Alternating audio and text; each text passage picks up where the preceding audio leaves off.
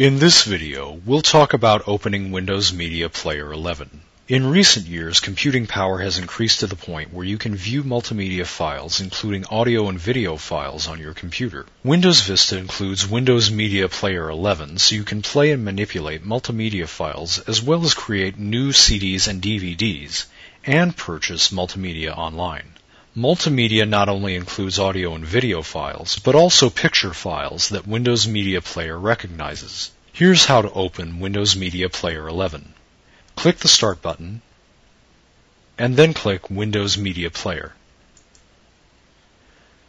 The Windows Media Player window appears and displays your library's songs directory. The default library contains several audio files from various genres including jazz, electronica, rock, Latin, and classical. The list of songs includes information about each song.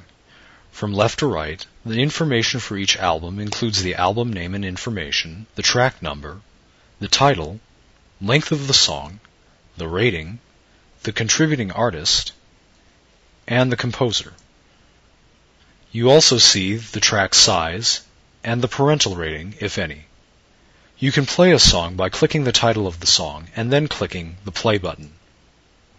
If you want more information about using Windows Media Player, click the down arrow underneath the Now Playing button, and then click Help with Playback. The Windows Help and Support window appears and displays Windows Media Player information and links.